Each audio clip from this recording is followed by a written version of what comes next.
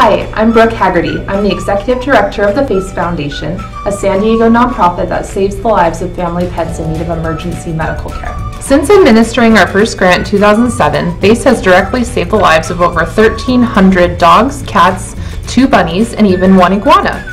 We have no restrictions on a pet's age. In fact, last year, 24% of FACE grants went to patients over the age of 7.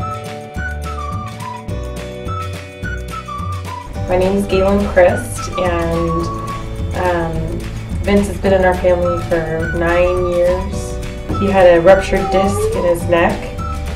I couldn't have afforded it the second time around, but because Face helped out, Vinny Vinny's still a family member, and we're grateful.